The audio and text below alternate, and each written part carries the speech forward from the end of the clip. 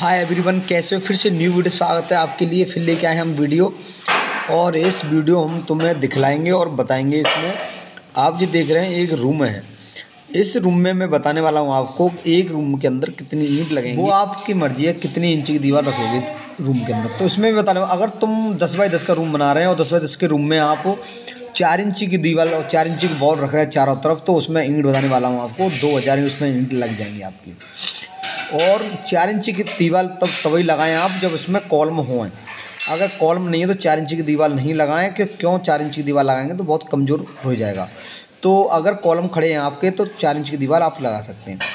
अगर मैं खर्चे की बात बताता हूँ इसमें तो अगर चिनाई की बात करते हैं तो आप इसमें दो हज़ार लगेंगी। और उसके बाद में क्या होने वाला है, क्यों, अगर कॉलम का सीमेंट और उसमें सीमेंट तुम्हारा करीब दस ग्यारह बोरी सीमेंट इसमें लग जाएगा। अगर चुनाई कराते हैं और कॉलम भरते हैं तो उसमें दस ग्यारह दस ग्यारह बोरी सीमेंट आपका लग जाएगा। ठीक है, दो हज़ार ईंट इसमें करीब लग जाएँगे आपकी।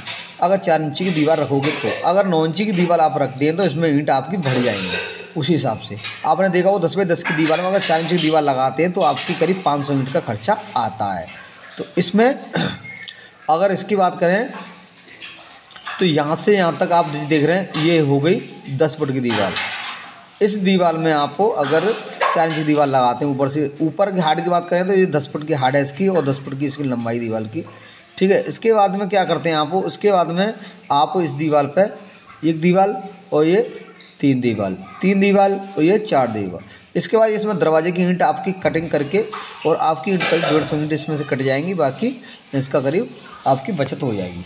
तो ठीक है, इसके बाद हम क्या करना है इसके बाद में अगर इसकी बात करें आप तो सीमेंट बाकी ईंट की, ईंट करीब आपकी अपने एरिया में करीब ईंट आ रही है, करीब छः हज़ार तो बारह हज़ार के करीब ईंट हो जाएँगी आपकी। ठीक है? और करीब साढ़े तीन सौ, चार सौ रुपये का आपका सीमेंट का कट्टा आता है, उसके मीडियम में आप उसको ले सकते हैं।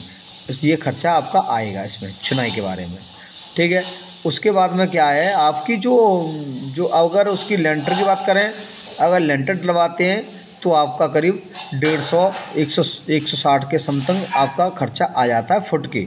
वट अगर फुट के एरिया के हिसाब से नापेंगे तो एक फुट में करीब आपका डेढ़ सौ, एक सौ साठ रुपये खर्चा आएगा।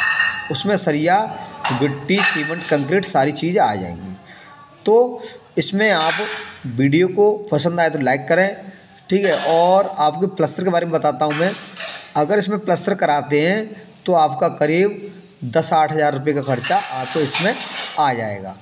इसमें लेबर कंटेंट हो जाएगी। और वीडियो अच्छी लगे तो वीडियो को लाइक करें, चैनल सब्सक्राइब कर लें। इसी रिलेटेड वीडियो बिल्डिंग के बारे में हम लाते रहते हैं।